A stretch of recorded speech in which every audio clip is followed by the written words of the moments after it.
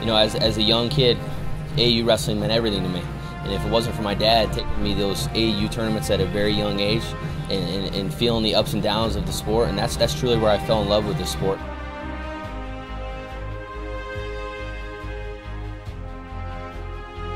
And if it wasn't for AAU wrestling, I don't think I'd be an NCAA champion today.